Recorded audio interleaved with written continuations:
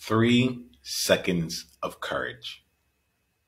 I first heard that phrase from another coach called Dan Warburton, and he described to me how much his life had changed because in the matters, in the moments where it mattered, he practiced this mantra of having three seconds of courage.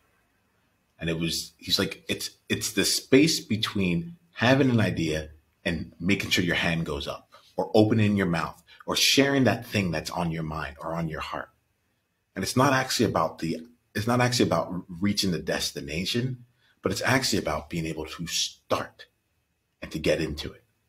When I think about three seconds of courage, I think about the important and meaningful conversations that we as outliers, trailblazers, pioneers, mavericks are having to shape the next era of humanity, to shape our world so that our future looks distinct from our past. And oftentimes, we get to this place where the moment becomes crucial, where we have an opportunity to step up and do something that shifts the energy, shifts the perspectives, or brings in a new piece of information such that we can all see this challenge, opportunity, or aspiration differently. I'm going to add conflict to that list too. That conflict differently. And the difference between actually being present and sharing what's on your heart and making your impact and being in being in that conversation might just be whether or not you choose to lean into three seconds of courage. I was skydiving uh, a few years ago, and uh, before before I got to the, I, I, was an actuary. I was like, the risk involved in skydiving is just far too much. Why would I go and do it? Uh, my wife wanted to do it for her 30th birthday, so we did. Um, and I found myself meditating to be, to get into preparation. The one space that I was meditating on wasn't getting into the uh, into the uh, helicopter. wasn't wasn't even like dealing with the height. It was the moment when the doors opened and it said, "Now is the time to jump out." Because in those three seconds would determine whether or not the move would go forward.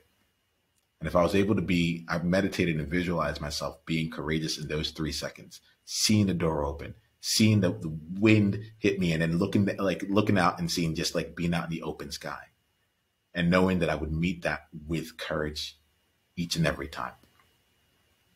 And skydiving was an amazing experience because of it.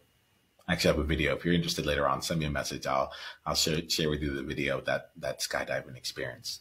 But I feel like I bring up the skydiving because it's like once you're in the air, all you can do is dive, or in my case, fall but you will land. It is more important to have the three seconds of courage to start than others, than anything else. So let's play with this here over the next 24 hours. And my invitation for you is just to be not even on the lookout, but to have that mantra run through you for today we uh, we can't know when courage is going to be needed. If if you're like like it's about making sure that when you're in that moment, you have something to lean back on.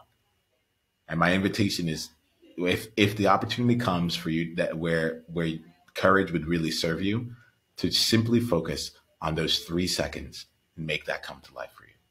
And then come let us know wherever you are. Leave a comment where you are. I'd love to uh, continue this conversation with you. And then if you're looking to really be courageous, we have a place where you can actually build out that, that muscle. Where it starts with three seconds of courage and it continues on into so much more. And we have uh, a, basically a courage gym where you can build out the muscle of courage so that you can go out into the world and continue to show up powerfully and show up in the ways that will serve both you and the people out there who you lead. Uh, we call it the Trailblazer Collective, and it's our ma- it's our membership community of globally minded, socially conscious, and impact driven leaders in the world who are stepping out of their comfort zone and are doing it with a peer group of people who are looking to, to honestly shape the world around them. If this sounds like you, we should have a conversation. Go to niiamah.com slash collective to read up more and to apply to come and be a part of this wonderful thing we're co-creating. Love to have you there. It's N-I-A-M-A-H dot com slash collective. And we'll continue on from there. In the meantime, remember this. You got this. And we got you. Journey on. Hey, Oniyama here. Hit the subscribe button if you haven't yet, and then go ahead and leave one of your insights from today's video in the comments below.